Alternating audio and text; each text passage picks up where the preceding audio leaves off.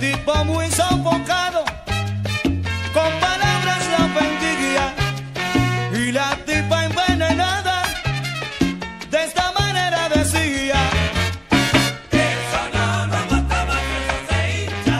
Eso no lo aguanta más.